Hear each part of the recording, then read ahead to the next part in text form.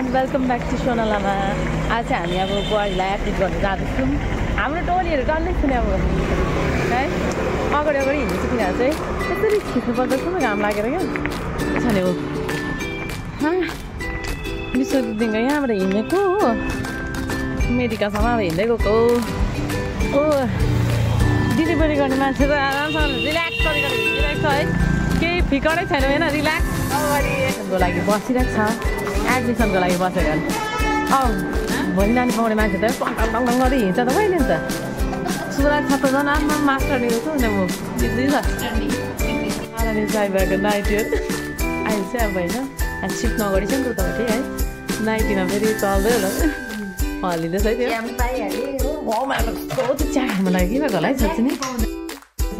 चाहिँ अब भोलि चाहिँ आज चाहिँ भित्र छ हो। भोलि चाहिँ बाहिर आउनु अँ भित्र दामी नानी हो। गर्नु आएको थियो होइन अन्त आज चाहिँ हाम्रो बेबी भयो बेबी बोय है आज हामी है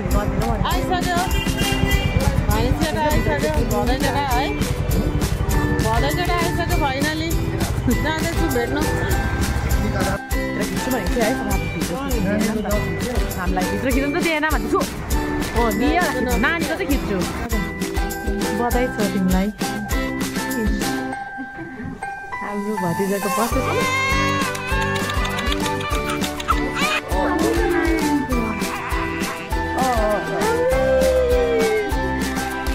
आयो गुचुको सानो त्यस्तो हुन्छ त्यस्तो हुन्छ त्यस्तो हुन्छ छाला चाहिँ बनेको नि बाहिर निस्किन परेर होइन त्यहाँ उयो गरिरहेको रहेछ सुतिरहेको रहेछ चिल्याक्स भएर आज त काग चिन्नु थाल्यो होला नि त हौ है नौटङ्की गर्छ नि अरे अब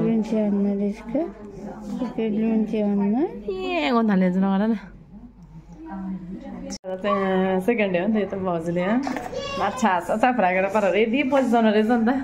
हाम्रो सेफ रेडी हो त है?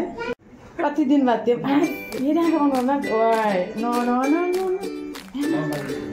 आज हेरिदियो साँच्ची है? हेर्चिरहेको मलाई छ हाते रानी लागेको छ नि त है? के दुध खाएर यस्तो भएको हो? हेर। हेर्नुहोस् त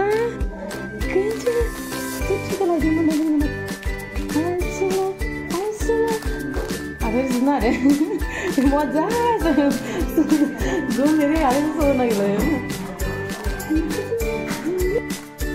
फाइनली हाम्रो बधाई घर जाँदैछ है चार दिन कि पाँच दिन बाद अन्त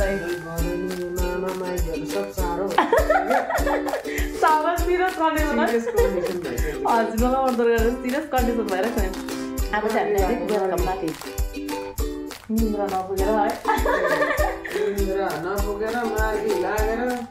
आज चाहिँ फाइनली घर जानु पाउँदैछु होइन अब चाहिँ भव्य स्वागत हुनेछ घरमा कुनै भने स्वागत हुनेछ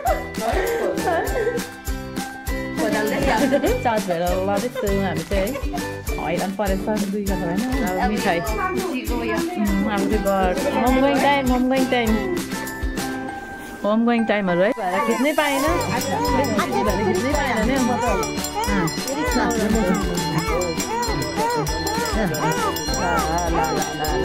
ए त्यहाँ झिङ्गुडे भाइ भाइ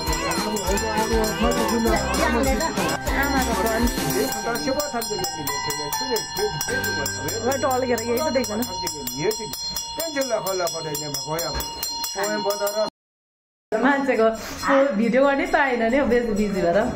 दाल बसाउन आँटेको काखमा सुतेछ लु। अब काकीको पालो है। काकीको पालो। किन नि गर्नु हौ काकीको पालो के हो यस्तो?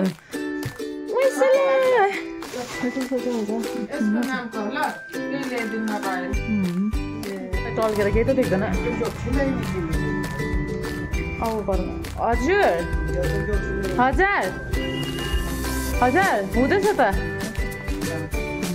के जक्सीलेन मन परेन तँलाई नाम उयो मन परेन त अहिले पासाङ तेम्बा अरे अर्को नाम पासाङ तेम्बा मन उयो हातहरूको हालत हेर्नु सकेँ कटेनमा फेरि लान्छ भन न अरे हाम्रो भाइले काट्दैछ आफूहरूको हालत यस्तो रहेछ भिडियो गर्नु नि पाएको छैन हात कति गयो अन्धार त के हो यस्तो कटेर नभएर त यस्तो अन्धार आएको होला है मासु बनाउनु आँटेको बेबी स्याक डुकडुक हो तिमी आइसला वा किन मुटु भएको सुतेको तिमी काखमा मजाले सुत्छन् गुड बोय भएको छ नि अहिले है मैले चाहिँ धेरै खिच्नु पाइनँ होइन? किनभने म धेरै बिजी थिएँ सो आजको हाम्रो भ्लग चाहिँ हुन्छ। See next vlog thank you watching